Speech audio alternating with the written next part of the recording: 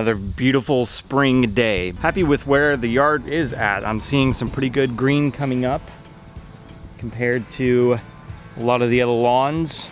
So we're getting there. We are getting there. One blade of grass at a time. So on to the topic of this video, how to use the Ortho hose end sprayer. I'm gonna try and make this as basic as possible. I'm gonna just give you the nuts and bolts and go over the units, all that good stuff. So let's dive into this.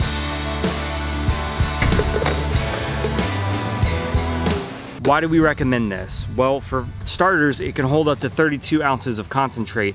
On the side of the cup, you've got markings 4, 8, 12, 16, 20, 24, 28, all the way up to 32 ounces and markings in between that. That's why it's so important to know how big your property is or the area that you're treating that way you know how much concentrate you need to put into the cup. So let's take the BioStim pack for example. We know that the products in there, the RGS, the Aerate, the Humic 12, the 002 MicroGreene, we're gonna go out at three ounces per thousand square feet once a month on any of those products. So if we have a 4,000 square foot yard, four times three, that's 12. So we know we need 12 ounces of product in the cup to spray out over that 4,000 square feet. Another reason why I like this one so much is, you hear that?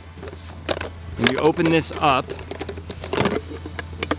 the hose or straw or whatever you want to call this thing, the little tip on the end right here is weighted. So when you are moving around the yard, when you're going side to side or if you tilt it back or forward, that little hose or the straw, again, whatever you call that thing, that's gonna move around in the cup. Wherever the liquid goes, that's where that hose is gonna go as well because it has that weighted bottom to it. My turn. Ah, I'm working.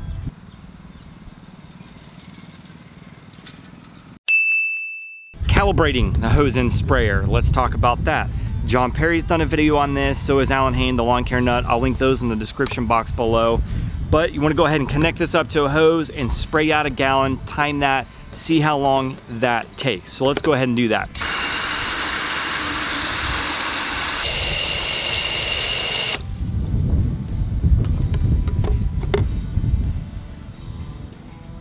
So just like uh, John and Allyn have showed, it is two gallons a minute. Repetition is the key to learning, right Allyn? That's why we did this. Just all right, so yes, it's two gallons a minute. Right here is my two gallon mark. I don't know if you can see that on camera. You can see the one gallon one down there, but yeah, two gallons is right there. And it came out to right at a minute. It's about 58 seconds, but two gallons a minute. We know it's that.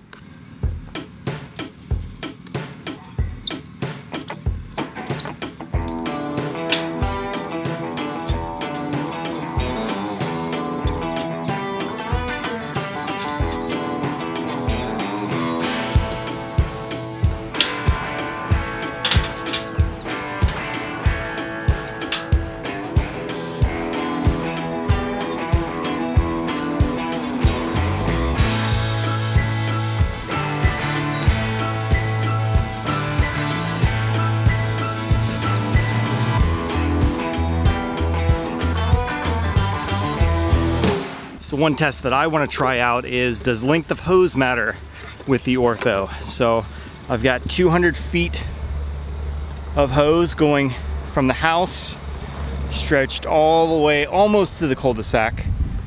Not quite, but I'm gonna connect this up and try the bucket test out here to see if the length of hose changes the flow rate and changes the two gallons a minute. So let's do that.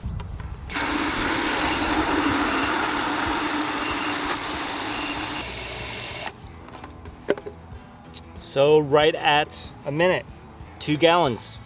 Length of hose does not change that. Okay, no matter what, we know that two gallons a minute is gonna come out of the hose end sprayer. Doesn't matter the length of hose that you have, if the bib's turned all the way on, halfway, almost shut, that doesn't matter. Two gallons a minute, no matter what. Now what is gonna matter is the dial right here. We wanna make sure we set that appropriately. One thing that I don't want you to do is think that you have to set the dial to the amount of ounces that you're putting out per thousand. That's, that's wrong. So if you're putting out six ounces per thousand square feet, you do not wanna put this to six ounces. Now, why is that? We know because of math, if you put this on six ounces, because this is going to pump out two gallons a minute, it's going to pump out six ounces in 30 seconds. So that's, you're, you're gonna be running through the yard. Do you really wanna be, you wanna be sprinting when you're, when you're doing this? I, I, I don't. So that's why we tell people to start out by putting this on three ounces because that three ounces is gonna get pumped out in about a minute over a thousand square feet. So to spray out three ounces per thousand, it should take you about a minute. You can go at a nice leisurely pace. If you wanna go faster, you dial this up. If you wanna go slower, you can dial this down. For me, I tend to walk a little bit faster, so I'll dial this up to a four, maybe even at the five and one third ounce mark because again, I walk pretty fast and I can get that much product out in a nice even coverage in that amount of time. So let's talk about that, the nice even coverage that you wanna get when using this. So how do you do that? Well, what we want you to do is walk the area that you're treating multiple times. So for this area right here on the side of my house, what I would do is I would start here and I would walk back towards the house, come back and just keep going back and forth. And then what I would do is I would go back and forth like this. So you're creating kind of like a checkerboard pattern when you're walking the property. That way you know that you're getting that good even coverage over the area that you're treating. Now this is not a thousand square feet on this side right here. This is more, I think this was like 5,000 square feet, but we're gonna call it a thousand square feet just so I can illustrate what I'm trying to tell you here.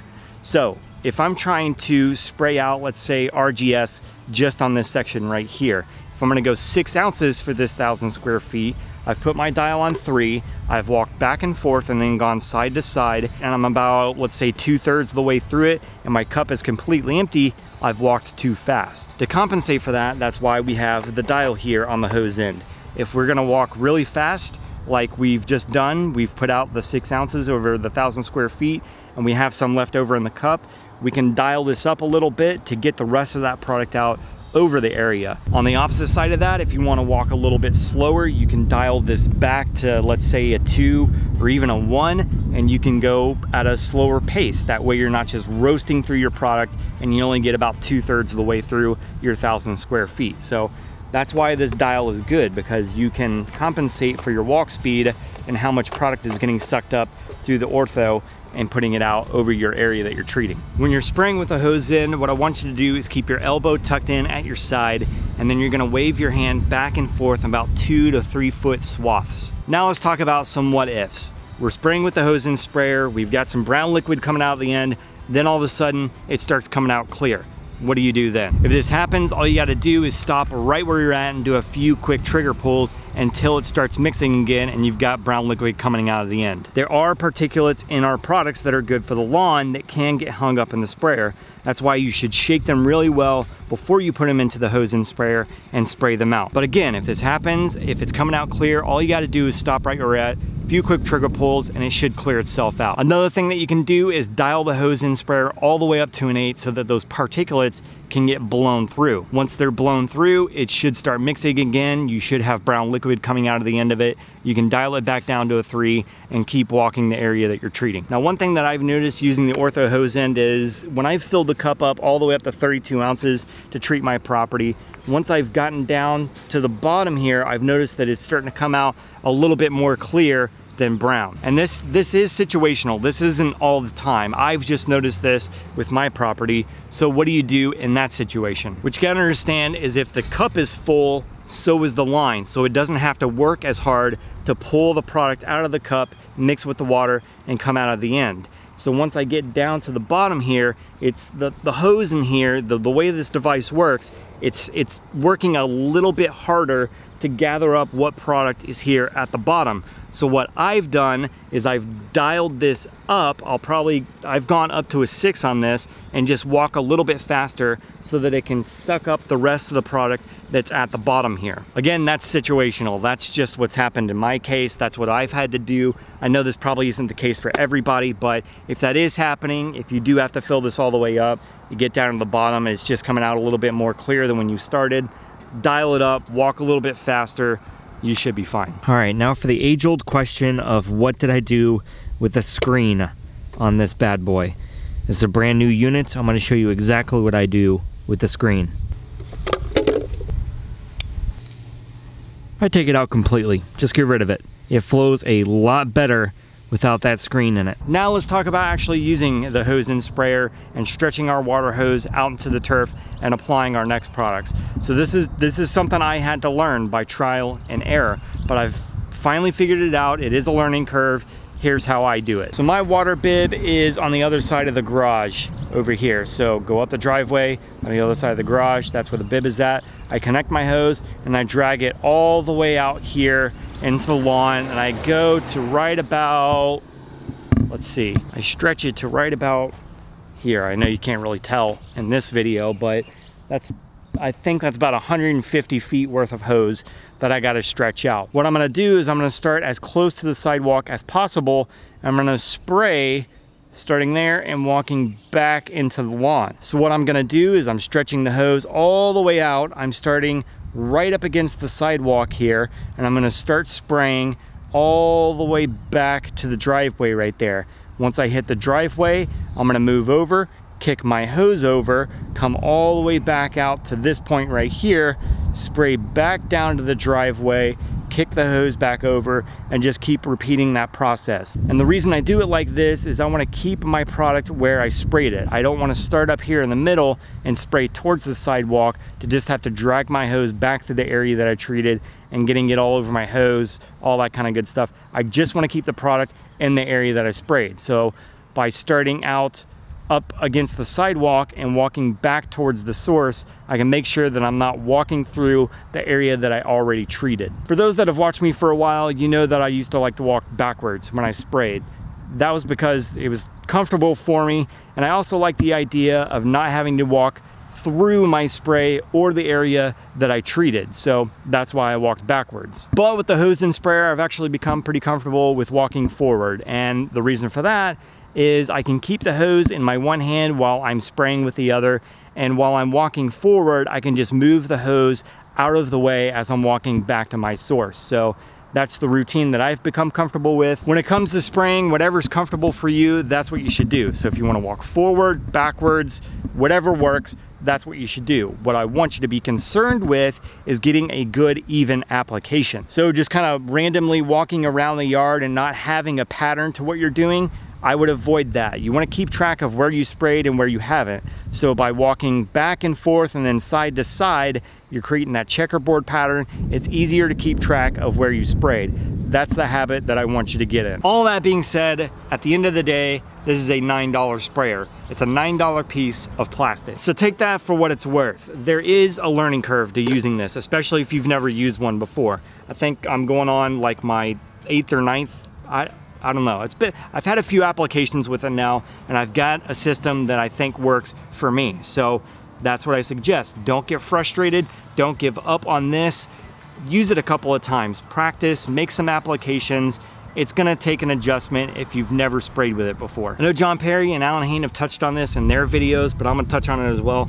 Let's say we're only using about 16 ounces of product. We're only filling the cup up to right there you can fill the rest of the cup up with water. That way you're cutting the product with water inside the cup so that it's diluting a little bit better and the straw can pick it up better to get it out of the end of the hose and onto your turf. Without fail, this happens every time I go to make a video. Trucks and more trucks and more trucks, sometimes buses, maybe even some cars.